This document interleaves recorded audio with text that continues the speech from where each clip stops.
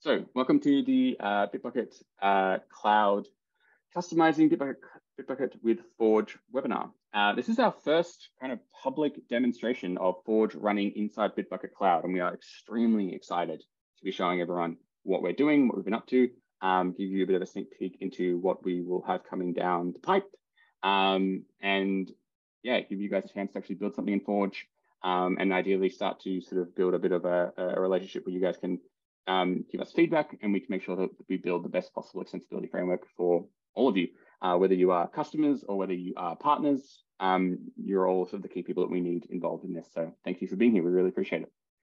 Um, quick high level kind of um, spiel before we get started. So at Bitbucket, we have the vision of creating the industry's most extensible cloud SCM and CI/CD product. This is where we want to aim for. Um, I, am here uh, representing a few teams. So for anyone who missed at the beginning, my name is Edmund Monday. I'm a senior product manager on Bitbucket Cloud. I represent three teams primarily, and those teams work heavily around our extensibility framework. Uh, and those teams also are the owners of Bitbucket Pipelines, which is our CI/CD uh, solution. So those teams have been working like mad for close to 12 months now to bring Forge into Bitbucket Cloud. Uh, we're really excited about what we're going to do with that. And if I could move slides, that would be great. So at a high level, our vision for Bitbucket Cloud uh, when it comes to Forge and extensibility is this concept that we've um, referred to as the dev operating system.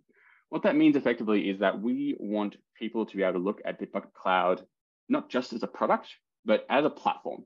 So we want it to be a place where either customers or partners can use the core source control and CI/CD features that we build into Bitbucket Cloud, but then build on top of that new and exciting capabilities, either to you know, provide to the market through the marketplace, or if you're a, larger customer or just a customer who has more bespoke requirements, you could actually build your own features on top of the core Bitbucket Cloud experience.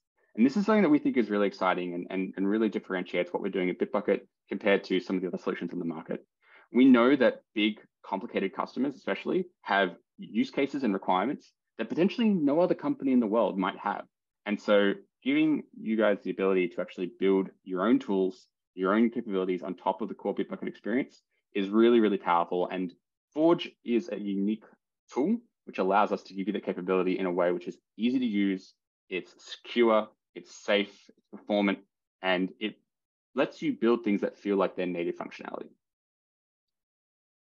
this is a high level kind of like picture of like, you know, kind of what we're thinking in terms of the long-term view for Bitbucket Cloud when it comes to extensibility.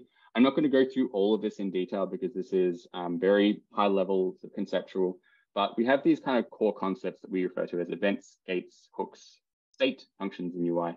Uh, and these elements are what we are using to create this workflow, this kind of um, this, this pipeline capability throughout Bitbucket Cloud. Now, this is not all going to be available in release. It's definitely not all available now, but this is the vision of where we're heading to. And you'll see here there's a common pattern where at different steps in the workflow, we have this sort of uh, grouping of capabilities. There's this concept of a gate, which basically will allow you to control whether or not a user can continue down the workflow. So for example, um, with something like uh, pre-merge checks, you'll be able to write a capability, a, a forge app that will block people from merging code unless a set of conditions are met. Hooks are, as they, you know, as you would be familiar with from any other coding concept, it's basically ways for you to inject your own custom functionality into the core workflow and extend the uh, core business logic that Bitbucket Cloud has with your own business logic, either as, a, as an app developer or as a customer. Functions are just a core part of the Forge capability, the ability to um, run your own code hosted in the Forge platform um, and execute logic that is sort of um, defined by you, either as a customer or as a partner. Um, I did see a hand go up. I'm not sure if I'm able to let people um, ask questions. Um, if you do have a question, please jump into the Slack channel and ask it there. Um, I will quickly, oops, that was the wrong button to click. Sorry.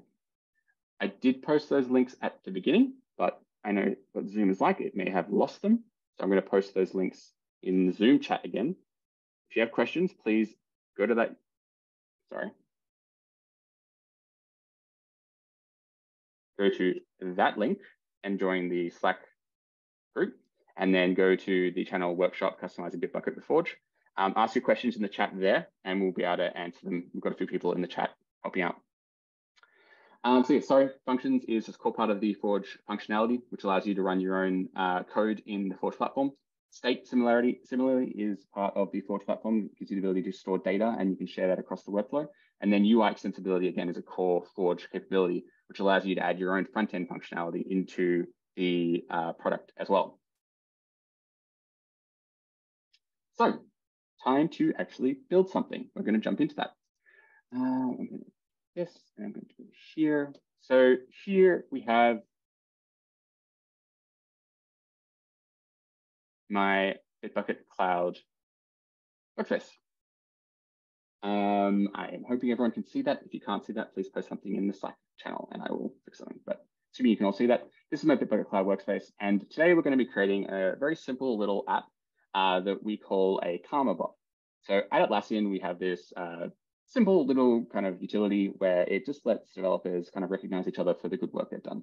Uh, and the way it works basically is as a comment, um, you can get rid of my test comments to start with. You can simply tag someone. So I can say, DJ, so DJ is the engineering manager. Um, and I can say plus, plus, plus. Basically what this is saying is, you know, you did a great job and I'm gonna give you some points. And these points are tallied, they are stored in the system and they are shared across every single PR, they're shared across all screens. And the idea is it's just a long running way of kind of tracking points and a way of sort of recognizing people did good things. Uh, and so I think there are some people at Atlassian who have literally like you know, 20 to 30,000 of these, these karma points. Um, what we're going to be building today is a very simple version of this karma bot. So you will be able to go into a pull request, you'll be able to tag a user and either you know do plus plus plus or minus minus minus, and you can do as many pluses and minuses as you like. It will give people more points the more you give them. Um, and what we will do is there'll be a little forge function that runs in the background. It will listen for this comment. It will calculate the amount of points the user that you tagged has. Now, so that will be looking at points they've been given in the past, plus the points you just gave them then. It'll update that amount that's been stored in the storage uh, so that next time someone gives them points, it'll sort of remember. And then it'll post a comment back to Bitbucket Cloud as a reply to the original comment, basically saying how many points the person has. If you try to give yourself points, it will not let you. It will actually tell you off for trying to give yourself points. So this is what we're going to build today.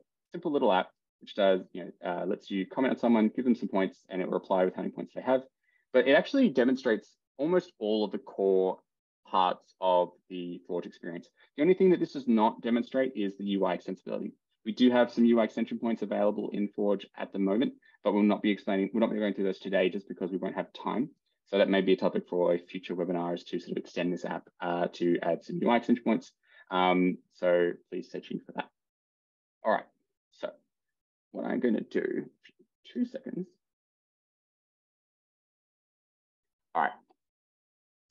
So just to confirm before we start, everyone will have has created a Bitbucket Cloud workspace. You have all got a repository in that workspace with a pull request on it.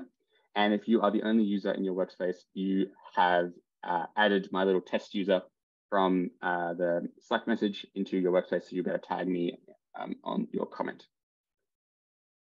You should also have set up, uh, completed the getting started with Forge process. So you'll have the Forge CLI installed, you'll have Docker installed, and you will have um, an up-to-date version of Node.js, either 16 or 18 uh, installed, and you will have an IDE that you're comfortable writing some JavaScript in.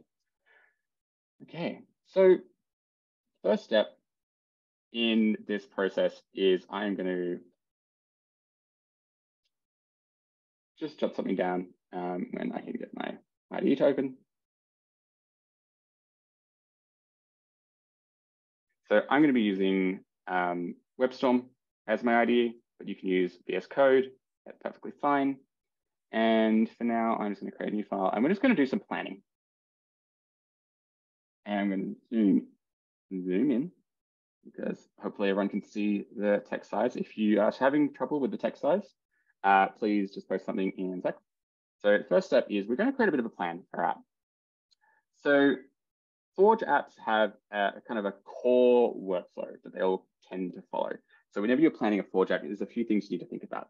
Um, so the first thing that you need to think about with any app is probably the events that you're going to listen to. So all apps fundamentally are what we call event driven. So they listen for events coming from Bitbucket Cloud, they respond to those events, uh, and then you run logic based on those events. Now, not everything in Forge is event driven. If you have UI extension points in Forge, that tends to be um, like user action driven. But if you are running some automation or your own logic in the background, will usually be event driven uh, based on what we call business events coming from the product.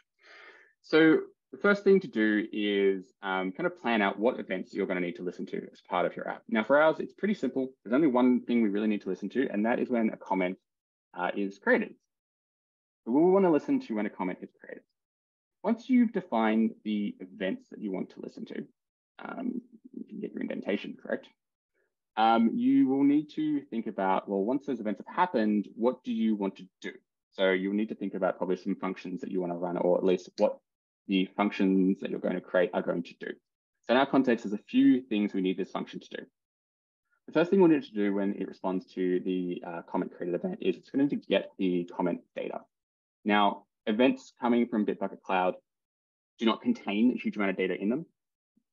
They tend to just be um, sort of the, the, the IDs of the relevant entities and records. Uh, and that is just so that you always get the most up-to-date version of that data. You, and you do that by calling back to the Bitbucket API with those IDs to get the information that you need.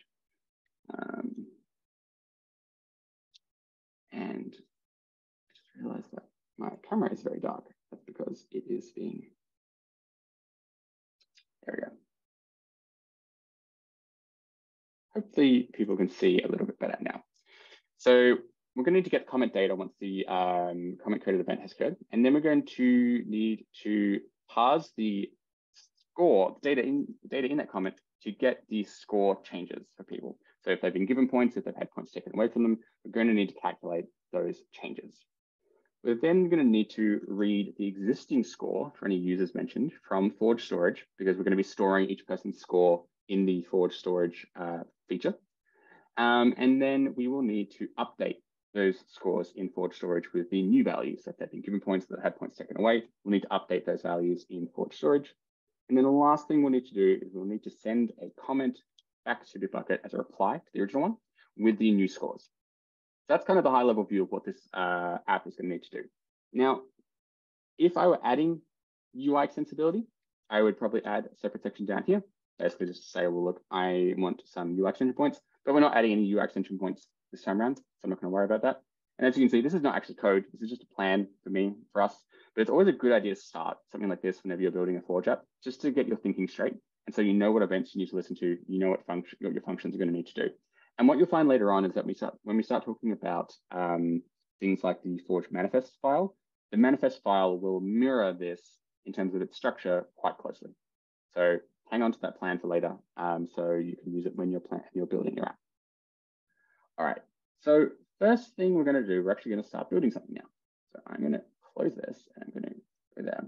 And now, unfortunately, I don't think I can make, I can't make this bigger because it is my terminal.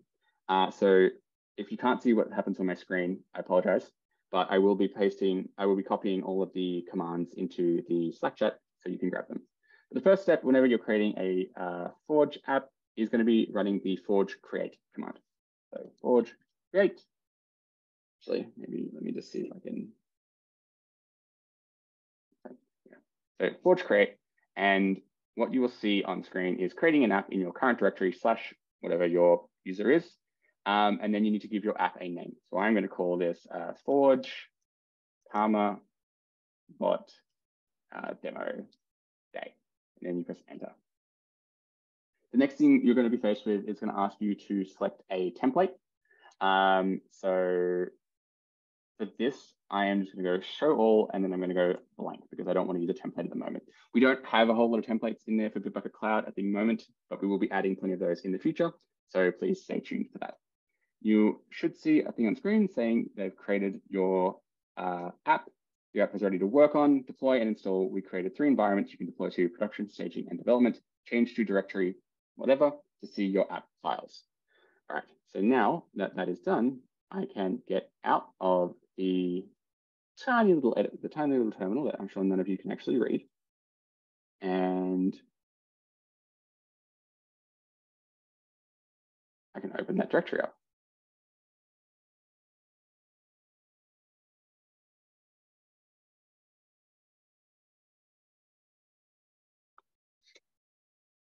Okay, let me just quickly check.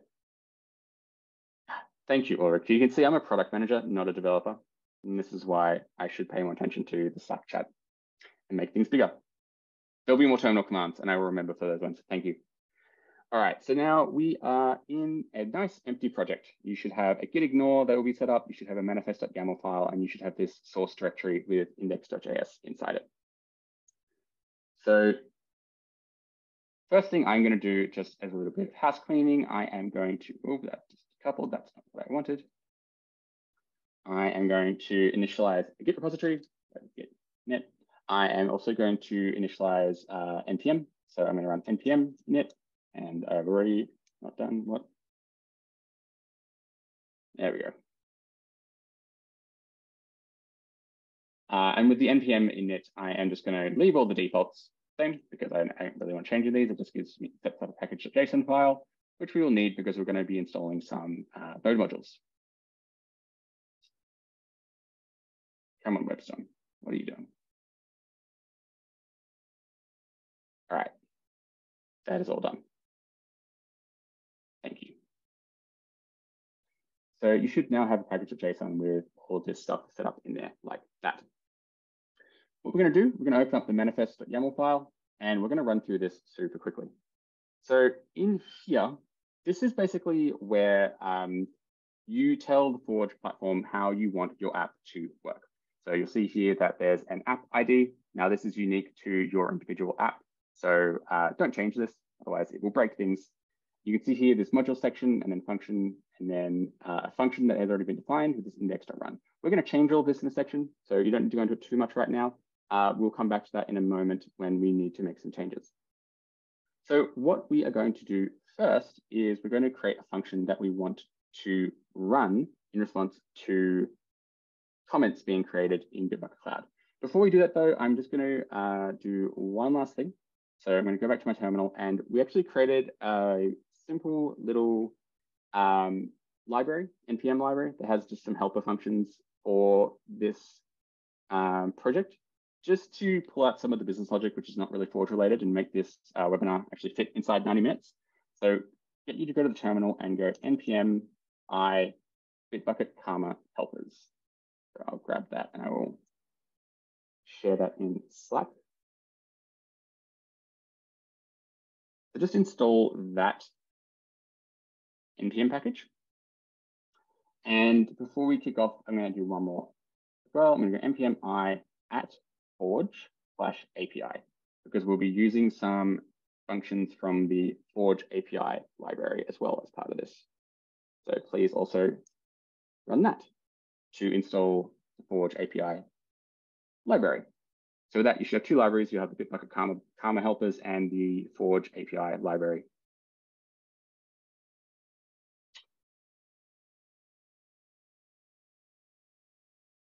All right, we're going to jump in and we're going to create our first bit of code.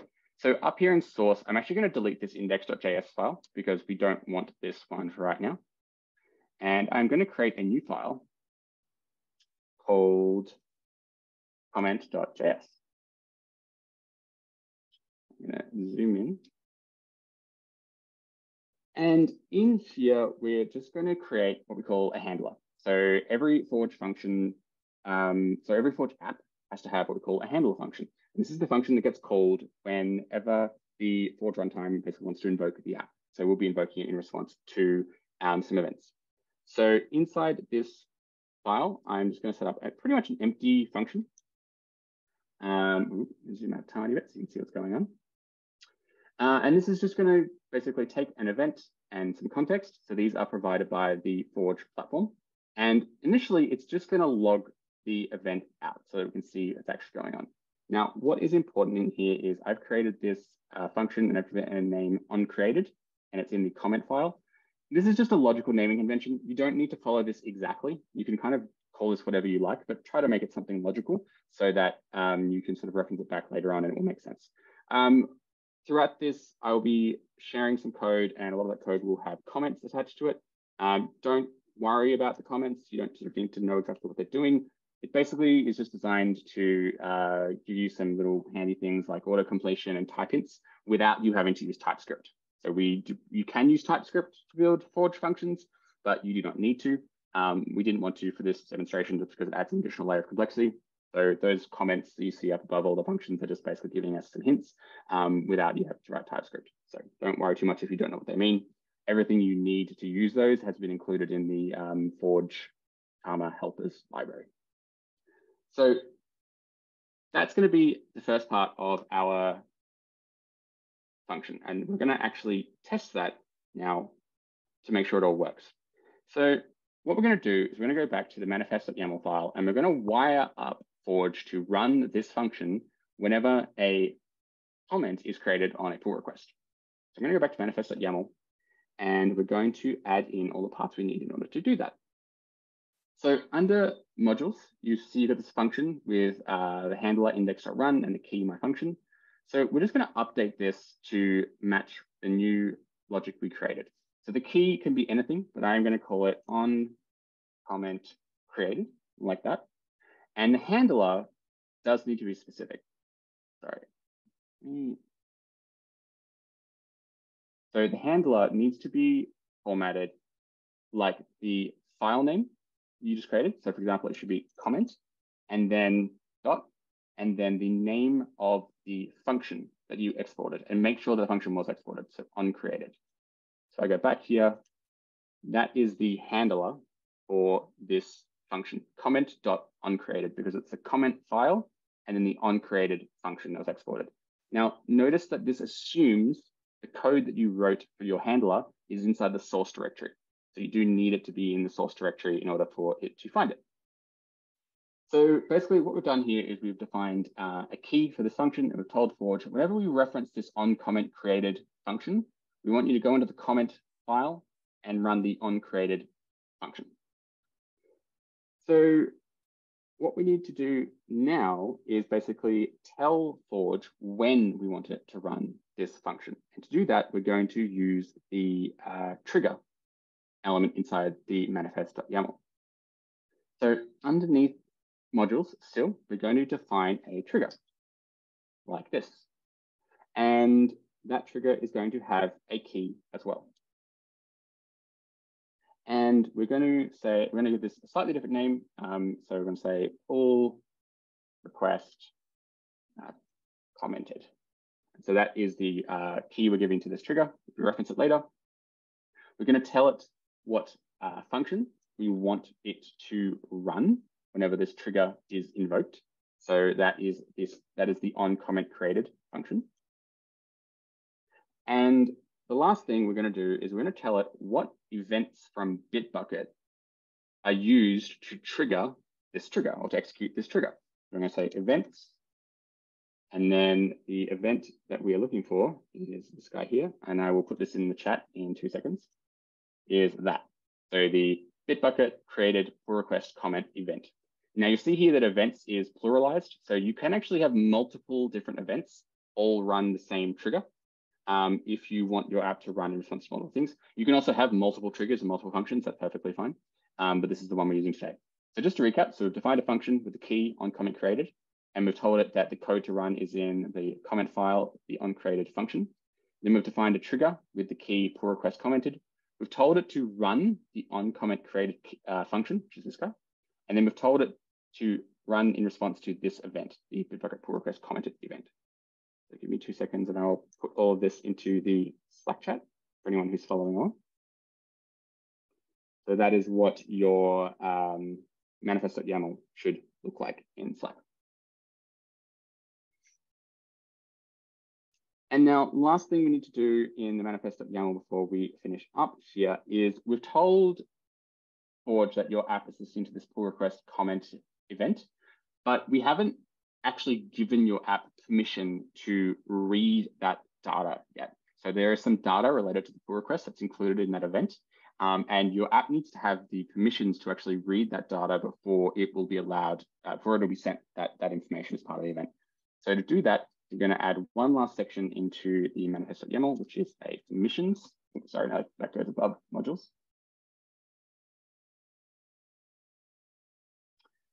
Permissions. And we're going to add scopes. And then we're going to add a particular scope to this, which is the read pull request Bitbucket scope. So this tells Forge that the app has permission to read pull request information from Bitbucket. And I'll pop all this in Slack as well. So we've now given your app permissions it needs to be able to read the data coming from the event. So just to quickly recap where we're up to and what we've done, we have created a JavaScript file for, to, for working with comments. We've created and exported this uh, onCreated function. And all that does is it takes in an event and some context, and it logs out the event. So the event is basically the uh, information coming from Bitbucket related to what happened. Context is just a standard Forge um, object that includes some information related to the Forge uh, workspace and the runtime, which is just useful for um, getting information about where your function is running and other information that it needs. And then in the manifest.yaml, we've said we've defined a function which calls that comment on created function. We've given the key. We've then defined a trigger, which invokes that function and listens for this event. And then we've given your app the permissions to read the pull request data from Bitbucket. So you've actually done most, probably the most complicated part of this whole thing already. This is actually most of the hard part. We're actually ready to, to test this now. So what we're going to do is we're actually going to run a quick end-to-end -end test to make sure that everything is all working the way it should be. So before we can do that, we need to do a few things. So the first thing we need to do is we need to deploy your app into the Forge platform. So to do that, we just go Forge, deploy in your terminal, and you hit enter. This will take a little second. It's going to run some linting, and then it is going to deploy to the platform. And while that is running, I'm going to quickly check Slack to see if anything in there. Nope, good.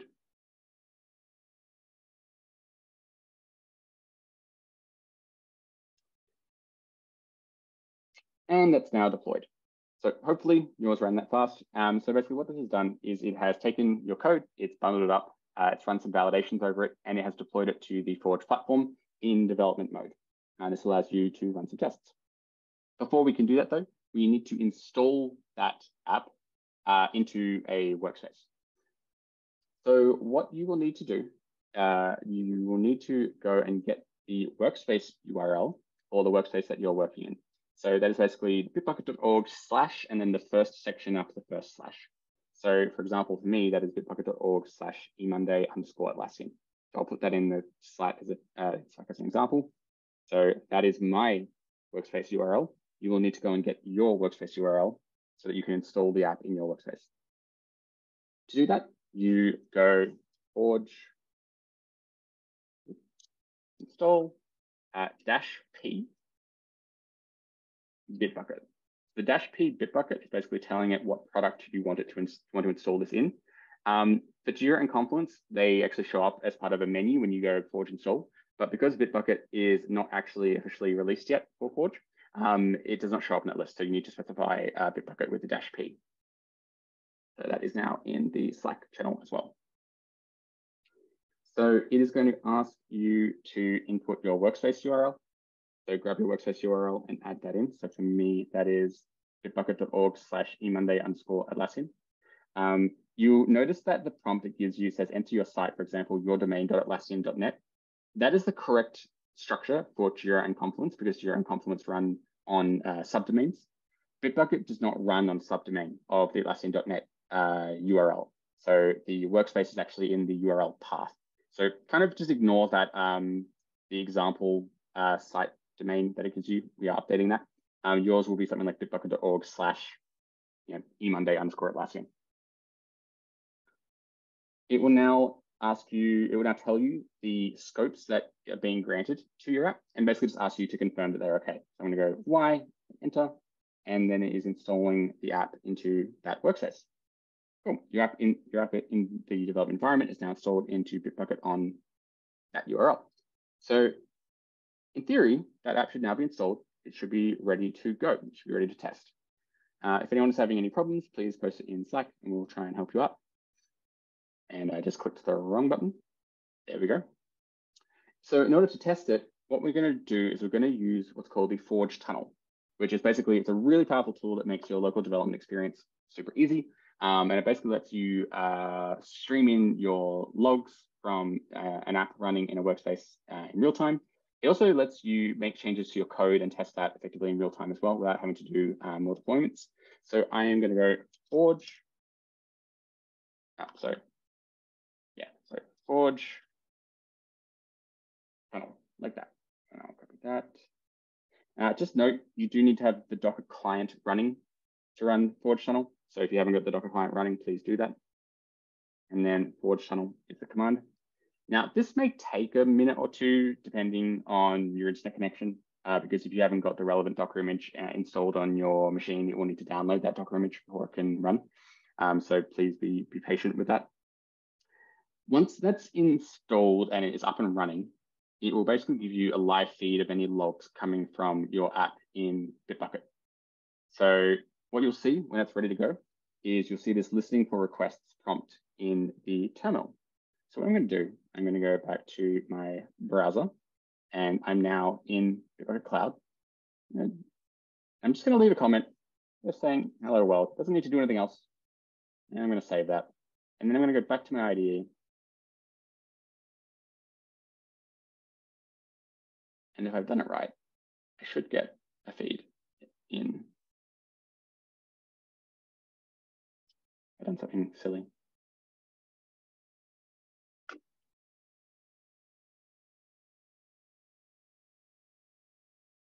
Two seconds.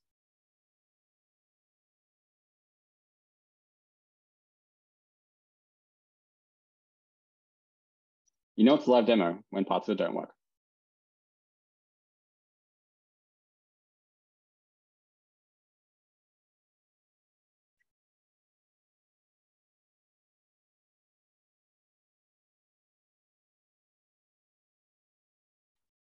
Probably doing something silly. Wendy, if you can think about what I'm doing, which is probably silly, then let me know. Um,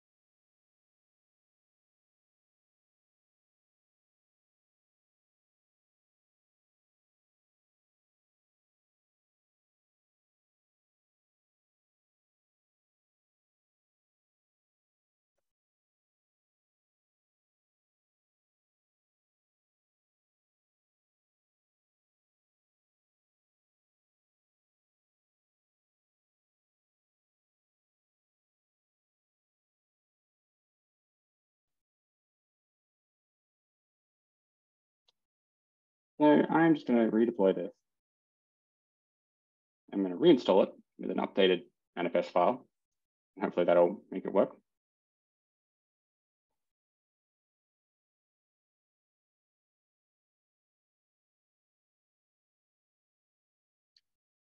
That's interesting. See, uh, I'm not really sure what that is. Give me two seconds. Sorry.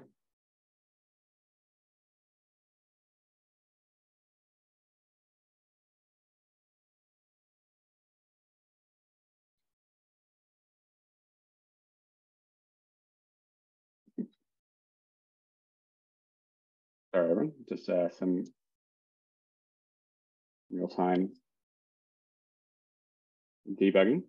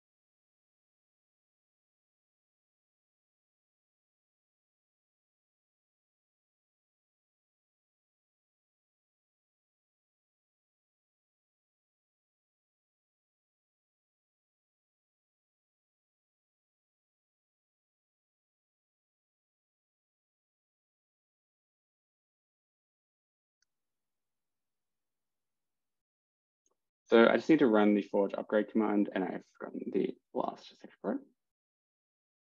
So just getting that prompt now.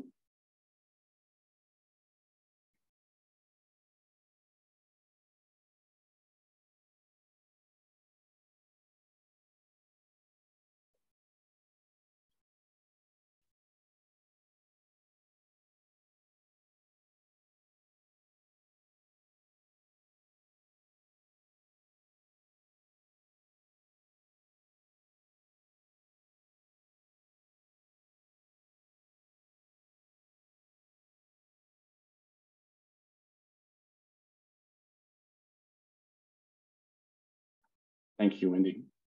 Thanks. So happens when I get nervous and stressed, I forget the CLI commands or to install upgrade. Okay. Yes.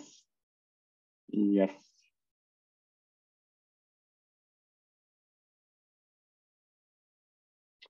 All right, now let's try that again. Forge tunnel. So I've got all the scopes. So in, every, in, in, in theory, this should be fine.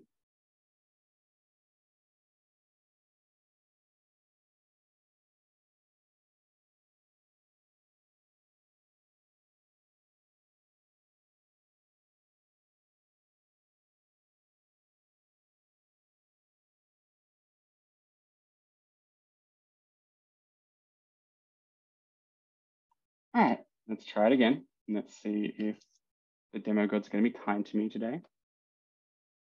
It's always the case with working.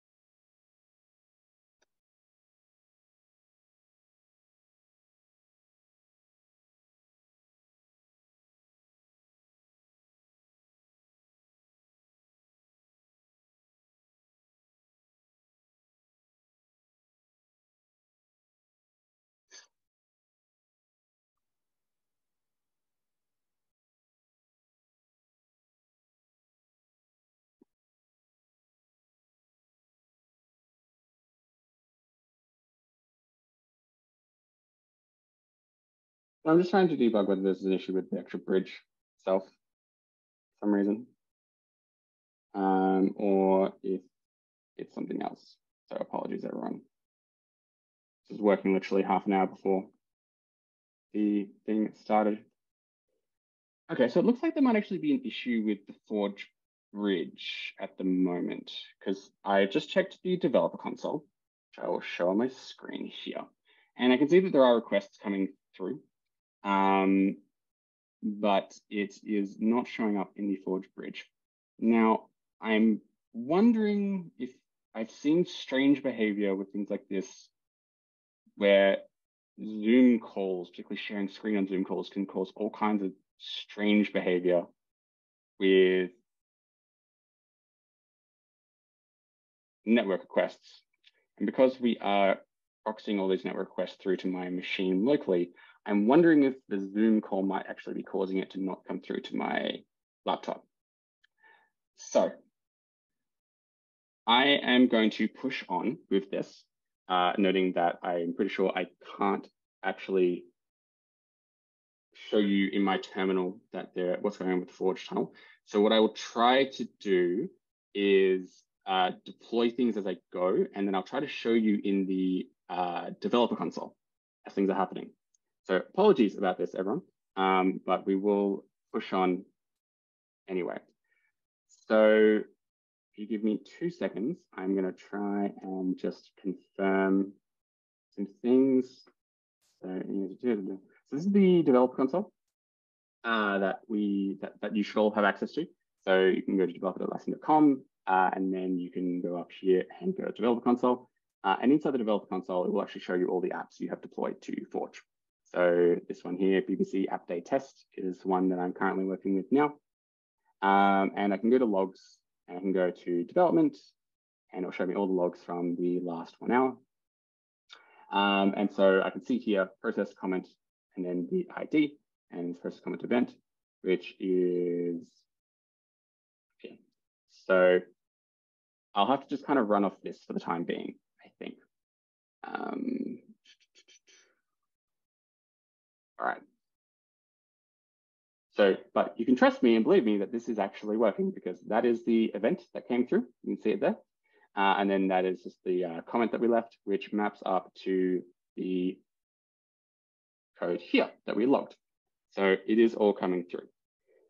All right, let's continue and hope we don't have any more of those kinds of hiccups. That would be lovely.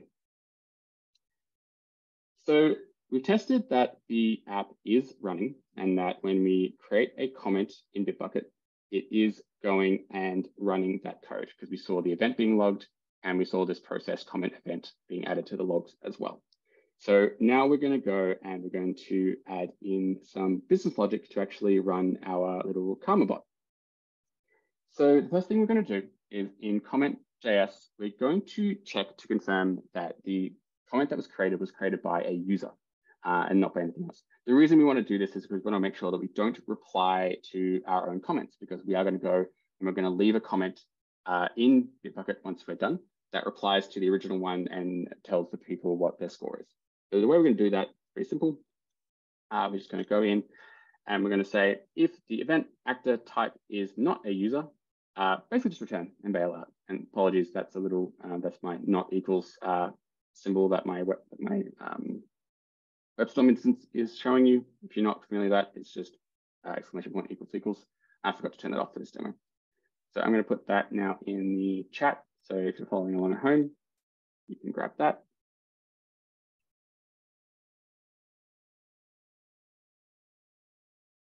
Yes, thank you, Victor. Appreciate that. That's that's where I think we're going to be running off for the rest of tonight. That's room to them.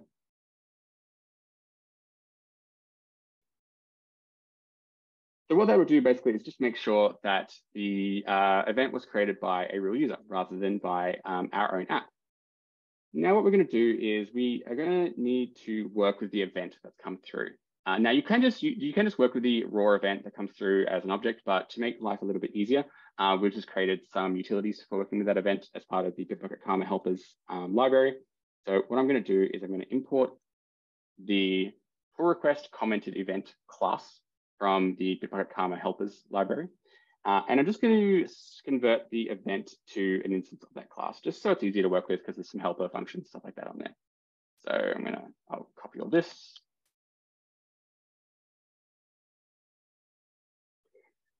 And that just makes that a little bit nicer to work with later on. Now, the next step we need to do is we need to get all of the actual data for the comment, because as I said before, the comment event does not include all of the information about it. It just includes the IDs of the relevant um, yeah, objects like the comment and the pull request and things like that. So we need to go back to Bitbucket and we need to get all of that um, additional comment data. So to do that, we're going to create another file. We're going to go into source and we're going to create a new file and we're just going to call this api.js. And this is where we're going to put um, all of our API calls that we need to make back to Bitbucket. Now, um, make sure that you have the at forge slash API library installed. Uh, and then the first thing we're going to do is we're going to import the API function and the route function from the Forge API library. And then we're going to just build a function that calls out to Bitbucket and gets the full information of the comment that the event was for. So this is the code for that. It's just called fetch comment. We export it. It takes in the event that came from Bitbucket. And then it uses the uh, Forge API to call back to Bitbucket and get all the information. So I'm going to put this into the chat, and then I'm going to walk through this code and just explain what it all does. So we're using the API uh, function from the Forge API library. And then onto that, we're chaining the as app method. So the as app method is a really useful feature, which basically lets you use the um, authentication identity of your Forge app when talking to the Bitbucket API. So you don't need to do, you don't need to worry about you know, tokens. You don't need to do any kind of um, you know, OAuth uh, dance, as people call it, to get yourself token. It's all handled by the Forge runtime. You just use api.asapp and it handles the authentication for you.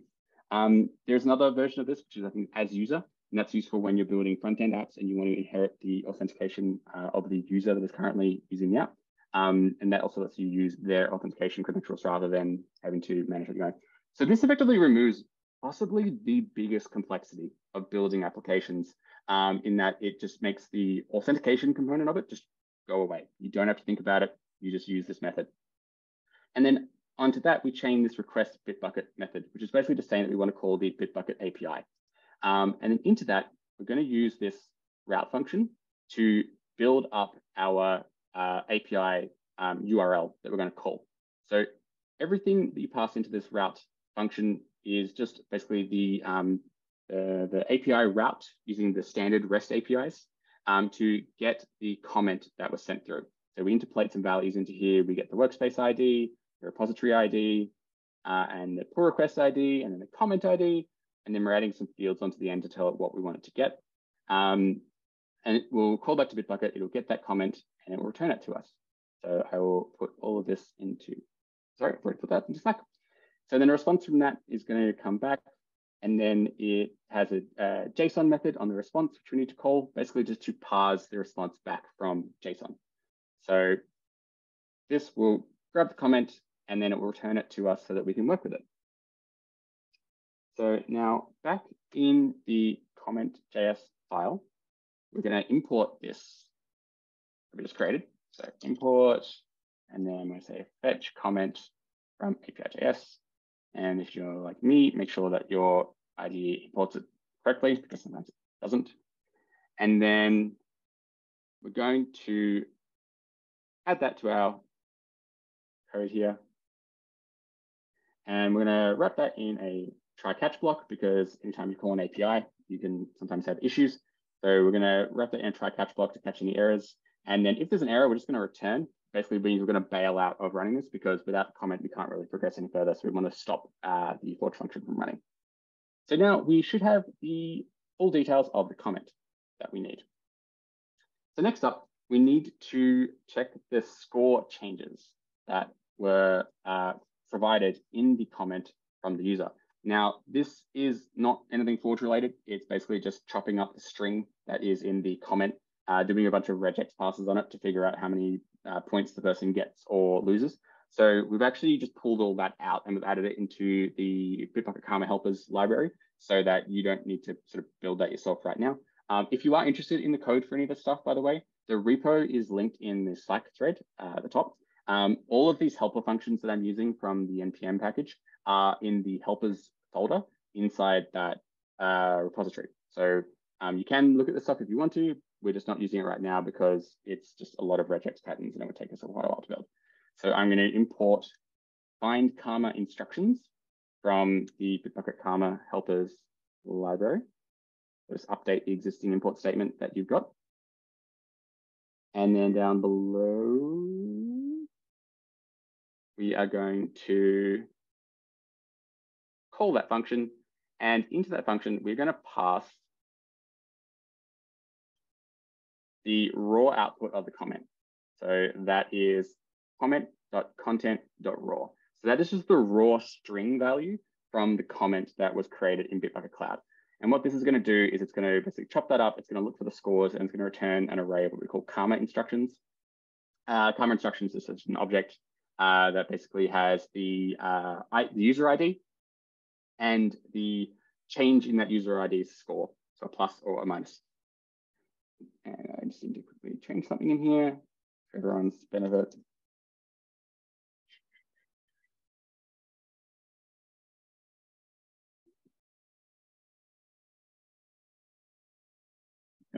install something to automatically format my code quickly so that it is all nice and pretty and no one needs to have me doing silly things and like forgetting a semicolon. There we go.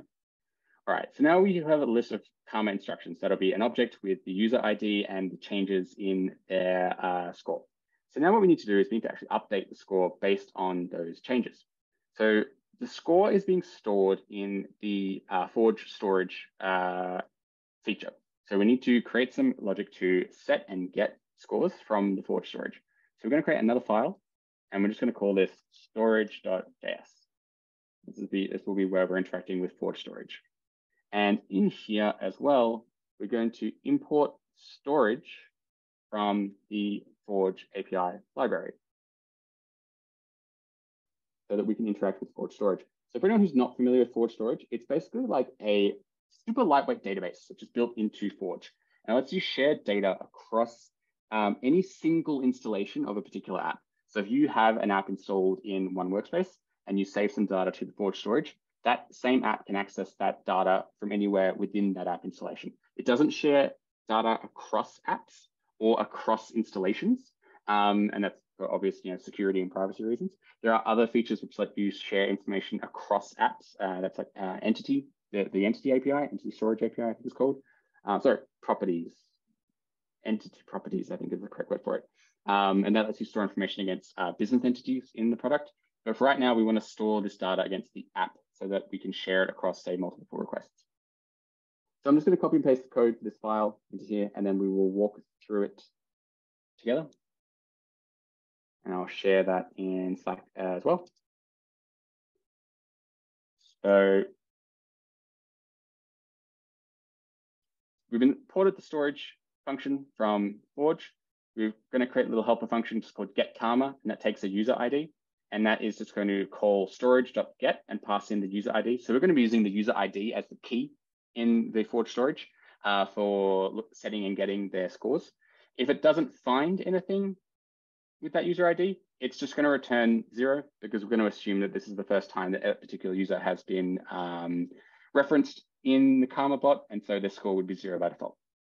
We're then also going to have a set Karma function, which takes a user ID and the amount. So what we want to set their Karma amount to. And that just calls storage.set user ID uh, and then passes in the amount.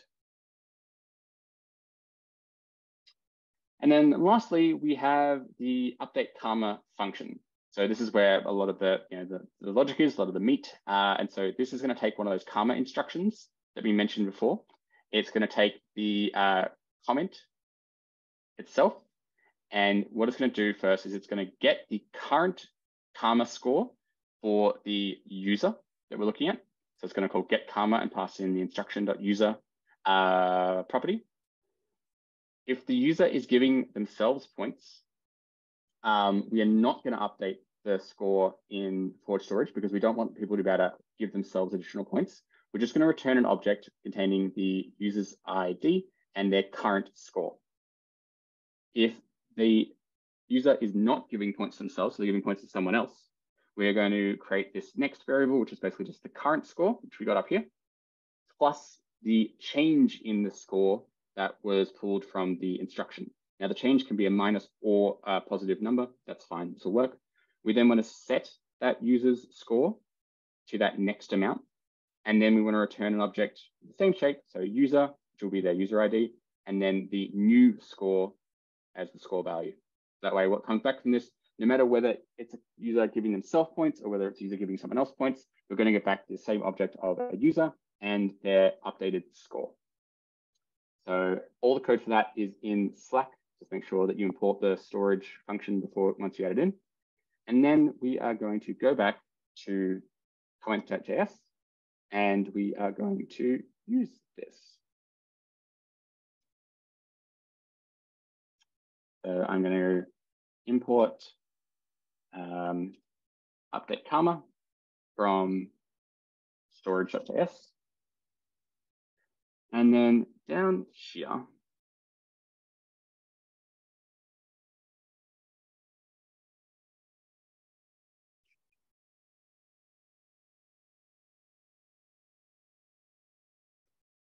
sorry, one second. Sorry, I forgot a step. What we're also going to do, sorry, is uh, in source, we're going to create a new file, and we're going to call this one karma.js. Sorry, I skipped a step. In here, we're going to import the update karma function we just created. So this is going to be our uh, all our karma specific logic. And then in here, we're going to define another function that we just call update karma scores. So if you remember back to here, comment.js, we've actually got an array of these karma instructions, not a single one. So the update karma scores function is going to take that array and it's just going to iterate over that array and it's going to return a list of the karma scores, which are those objects we created before with user ID and their updated score. So I'm going to grab, so I can comment, I'm going to get rid of this and I'm going to, instead, I'm going to import update karma scores from karma.js. And then down here, I am going to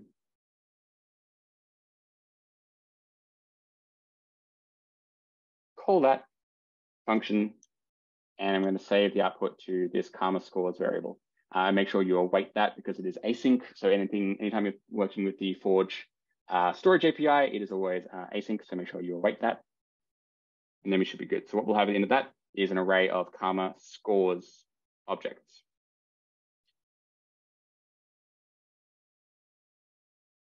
Okay, so then the next step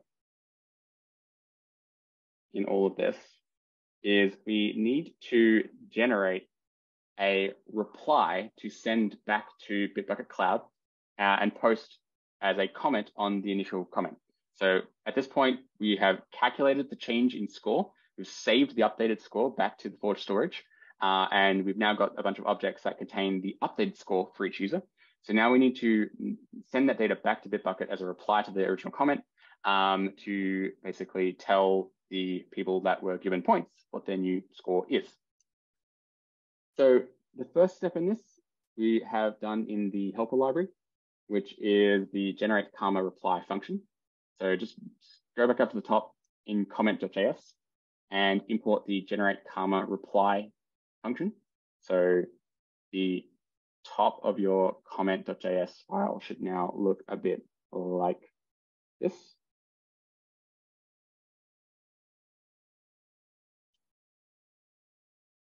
Uh, yeah, sure. Sorry, I forgot to share that. That is my fault. So that is uh, karma.js. You see? Uh, and the bit I posted above that, that's just the import statements in comment.js, just to make sure you have it all aligned. Perfect.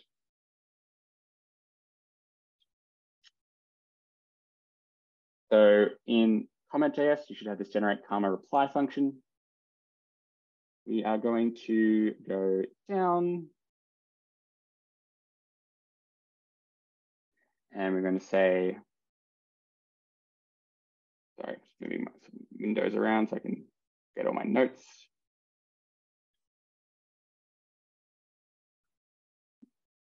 we generate a list of replies to send back. So we're going to pass in the karma scores and the comment.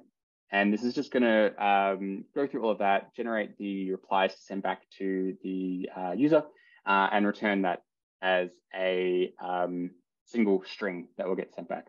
So what this is doing behind the scenes is for each karma score, it's basically calculating, uh, it's generating a string, which basically just says the username and then has X karma points um, and we just interpolate the values in. Uh, for any instances where the user is giving themselves points, it does not do that. It instead says something like, you know, don't don't create self karmas. I think there's no self karmas for you. Um, so it's generated that list of strings. And because you can actually have multiple uh, karmas being awarded in a single comment, that it, it, it's grabbing each separate response and it's just joining them together as to one in one string with a new line character in between them. So it'll render it sort of nice and cleanly in the comment when it gets sent back to Bitbucket. So what comes out of that is just a string that will be added into a comment that goes back in Bitbucket, and it will contain all of the updated karma scores for the people that were given points.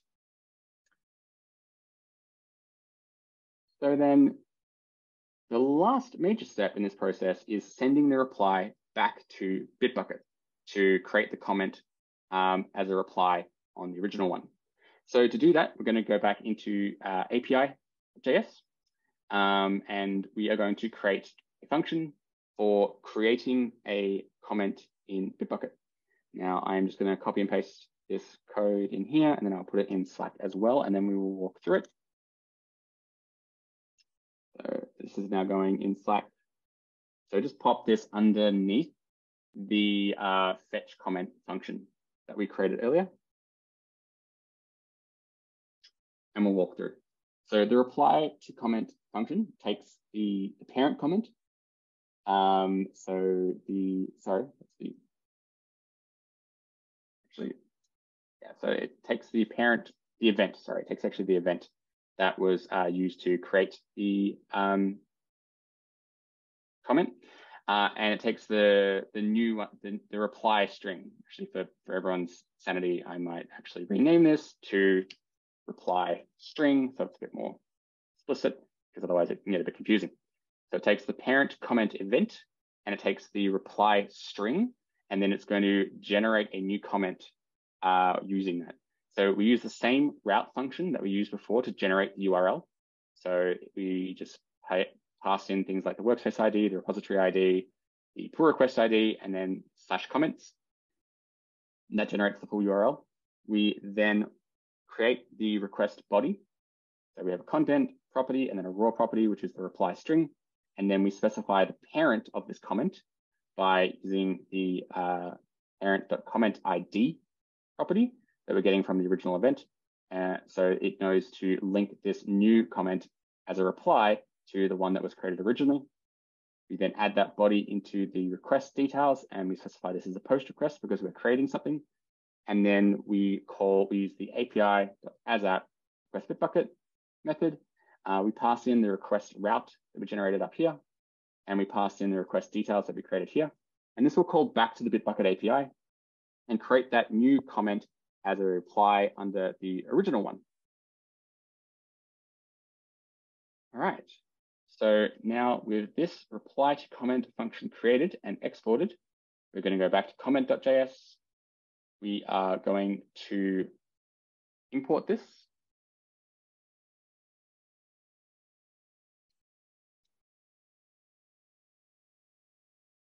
And then down here, we are going to call that function and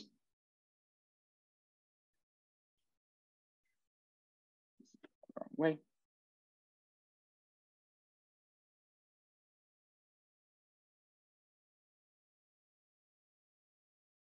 So we're going to pass in the comment event first and the karma reply second. I will chuck this in Slack. So this is the uh, function we're calling down the bottom. And this is the updated import statement. Uh, and just so that everyone's on exactly the same page, I'm going to copy the entire file. Actually, I'm going to do one last thing. I'm going to go right down the bottom. And there's a last step in all of this. We're going to go console log, process comment, and then the comment ID. So we know it's done. I'm going to grab this entire file and I'm going to put this into Slack. This is comment.js. And that's basically what you should have at the end of this process in comment.js. I'm going to share the code for the other files as well, so that if anyone has sort of fallen behind, you can just compare to that. So I'm going to grab api.js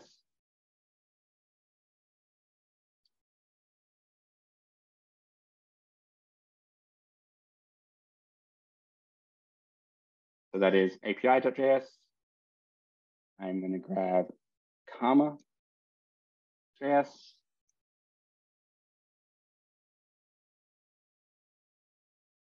And lastly, I'm going to grab storage. And all of these are just in the, the root of the source directory. So if anyone has fallen behind, feel free to grab those and keep yourself up to date.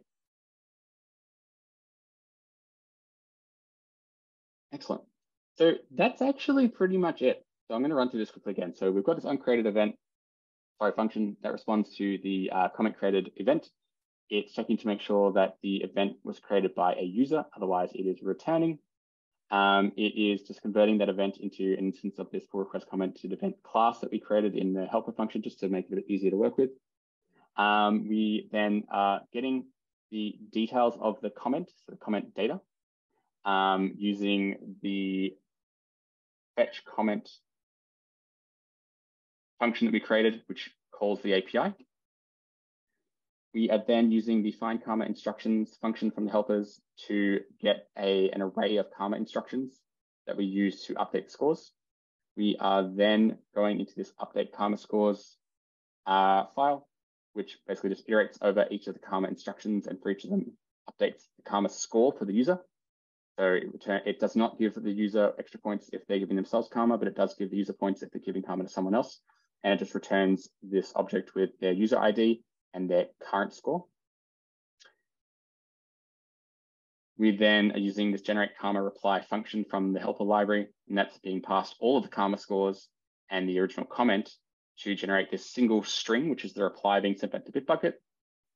And then we use this reply to comment function that we created, passing in the parent. I might actually, again, I might change this to parent event, just to make it clear, because it's not the comment it's passing, it's the event that created it. Um, passing in the event and the string we want to use for the comment, generating the URL, generating the body of the request, creating the full config of the request, and then using the Forge API functionality to make it request back to Bitbucket.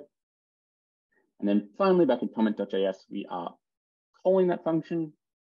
And then we are just making, we're doing a log at the end to say that it is all done. So what we're going to do now is we are going to test this again. Now, we're not going to use the Forge tunnel like I was planning to before. So we're just going to deploy this and uh, update your installation. Um, and then we will check in the logs. Well, actually, we shouldn't need to check logs because you should actually see this now commenting back in Bitbucket. So first up, I'm going to go um, Forge to share because I keep forgetting this one. or to install upgrade.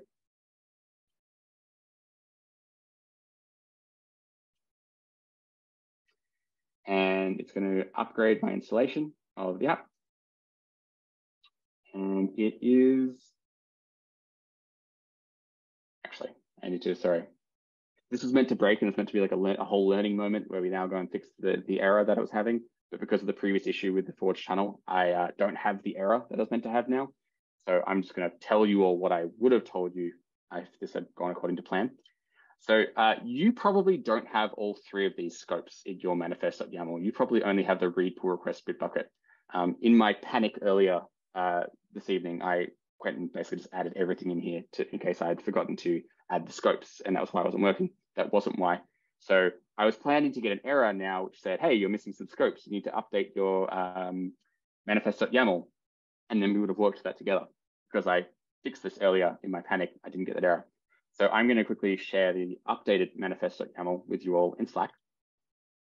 Um, the only changes are that I added the write pull request Bitbucket scope and the storage app scope. So that is so that I can call back to the Bitbucket API to create the comment and so that I can use the uh, Forge storage functionality here. So please update your uh, manifest.yaml to reflect what I had there. Uh, do not use my app ID. Sorry, I should not have included that in the when I sent to you. I will update that quickly. Uh, please use your app ID, the one that was in your original manifest.yaml file. And just update the scopes at the top, and then you should be all good. So once you've updated those scopes, then we will run forge install upgrade. And basically what this is doing is, sorry, actually, no. Because you are changing scopes, you actually need to run forge deploy first. Apologies for going back and forth on that a little bit. So you'll run forge deploy. Every time you change scopes, you need to redeploy, yeah, and then you'll need to rerun the installation as well. So it will redeploy your app to the Forge platform. Give it a second.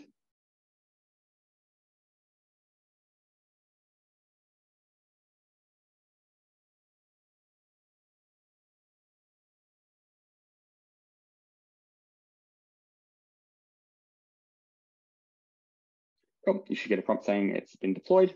And then once that's done, you will need to run forge install dash dash upgrade. So that basically just tells Forge to install the upgraded version of the app uh, into a workspace. And let me just put the formatting around that. That will run and it should ask you what workspace you want to run the upgrade on. In theory, you should have only one option. Uh, so just press enter. It will upgrade the installation and it will then ask you, it will tell you that you're basically adding additional scopes to the uh, app. And this is basically you as the admin of that workspace um, consenting to those additional scopes being added to the app. So just go yes and enter. You'll upgrade your app in the dev environment.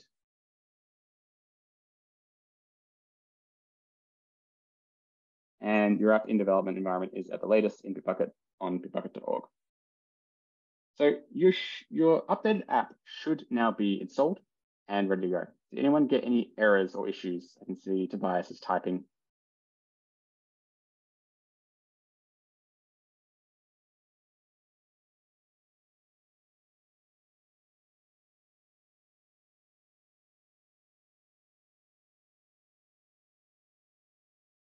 That is interesting, Tobias.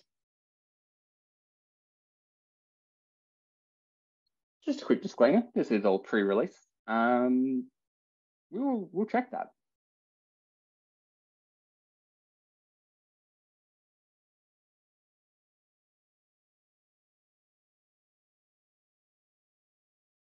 Interesting. Leave that with us. We will review um, and, and make sure that's all correct. Um, so thank you, Tobias. We've had our first piece of really good feedback from the uh, unofficial Forge in Bitbucket EAP program. Uh, stay tuned for, I'm sure, plenty more of that.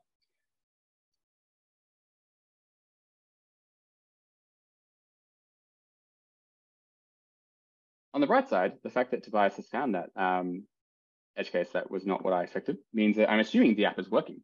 So if you go back to uh, Bitbucket and you uh, say at, and I'm going to say DJ plus plus plus plus, and I save that, um, the app will run, um, and it should calculate some additional points for for DJ, um, and it should send a comment back to Bitbucket with the updated score. So if I reload the page and I scroll down, you can see here the app has replied with this at DJ has 11 karmas.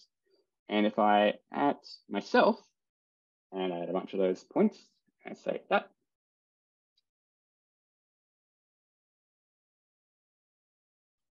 it will run again.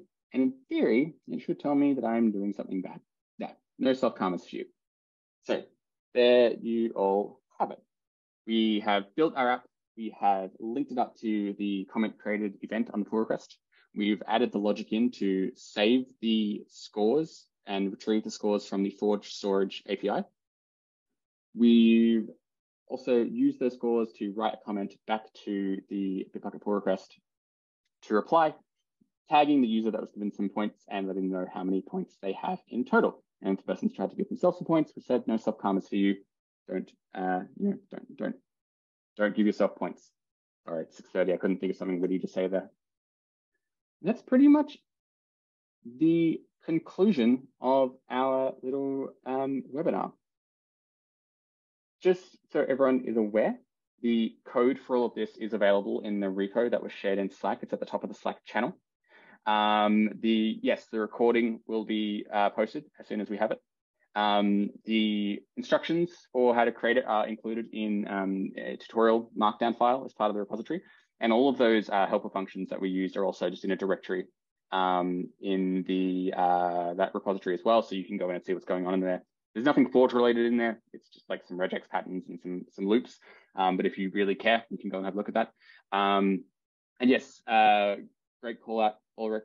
Um, we will definitely be doing an additional another one of these to go into UI. Um, just for everyone's context here, like we are planning to do a lot of these webinars um, over time, basically going into all the features, not just of Forge, but of the other things we're adding. Um, I'm just going to quickly look at the comments.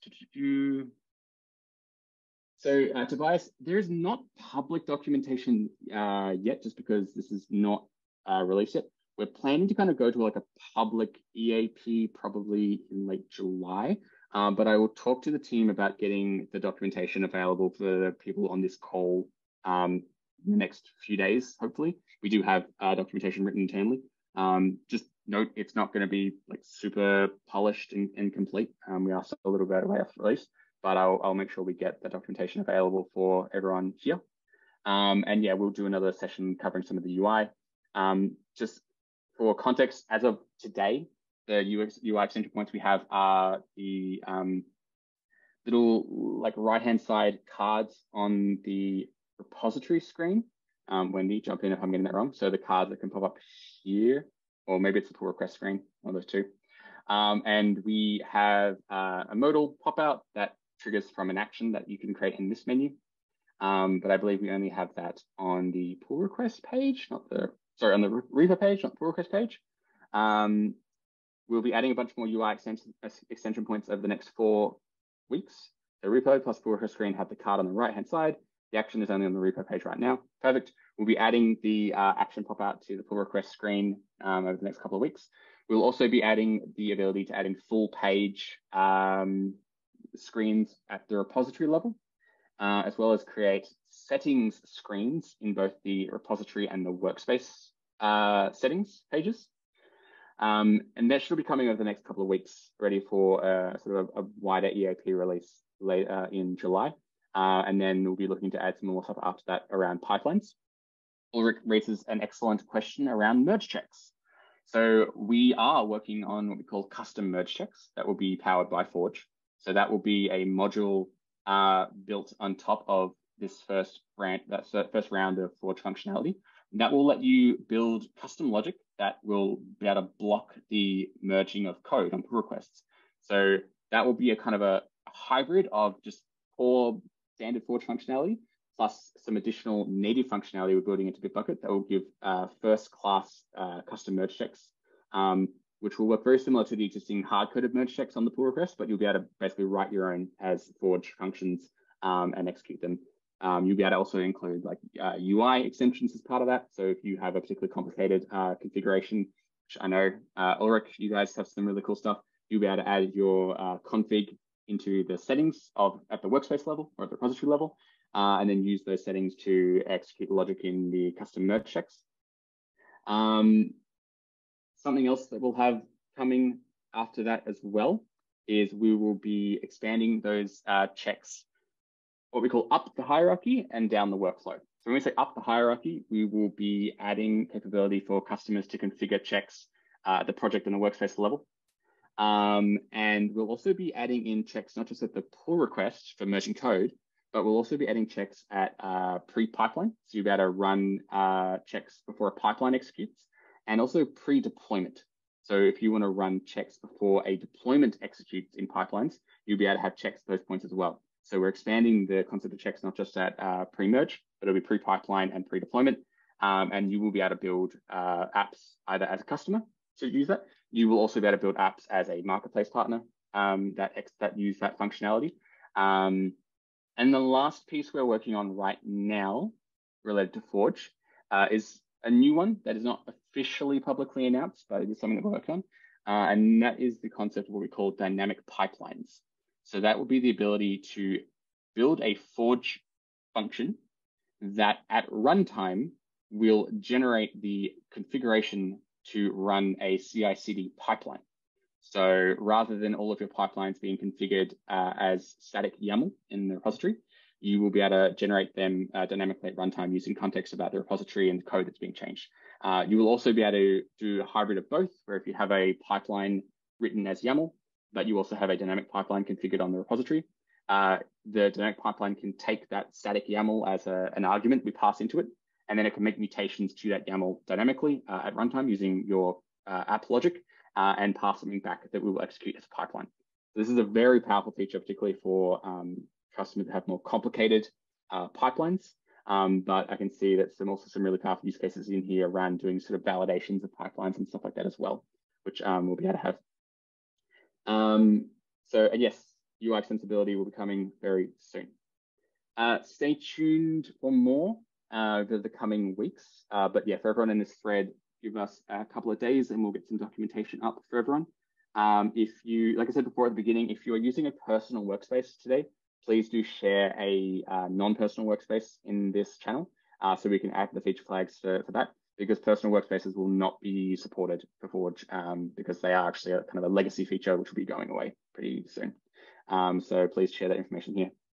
I'm happy to stay around for the five ten minutes if people have questions. Otherwise, you're all uh, free free to free to go. Thanks, everyone.